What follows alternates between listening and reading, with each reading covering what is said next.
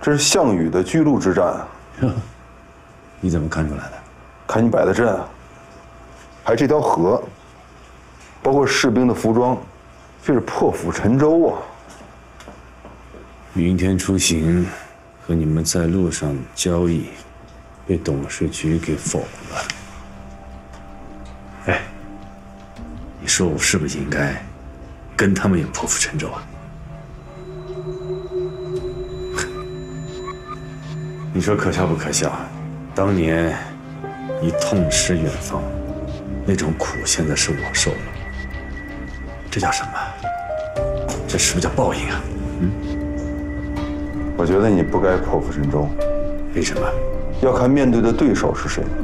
项羽凭一时之勇赢了巨鹿之战，但面对韩信、张良的时候，即便是破釜沉舟，还是没用，照样死在江边了。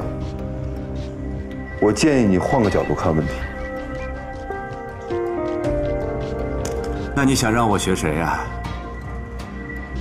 韩信、张良？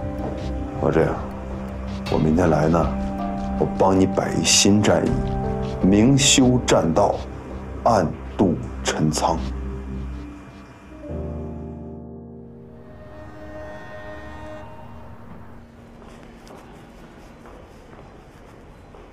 小姐，紫薇，你什么时候来的？我也是刚到啊。他们里面吵得好凶，小姐，我有点害怕。云天出行卖给谁是我的自由，董事会无权干涉。你以为董事会的人都是傻子吗？哪个人玩资本店都不比你。小姐，不用跟我说这些。去你办公室说吧。好。云天商城是我的，OK。罗兄杰帮你收购远方那一天，他已经不是你的了。Vincent，我知道你有猜疑，你有疑问，We're brothers，but I still gotta say，云天出行绝不能卖给遥远的在路上，这也是罗兄杰的意思。你以为我想卖吗？是他逼我卖的。你不要以为我不知道谁在压低我的股价，谁在恶意的做空我。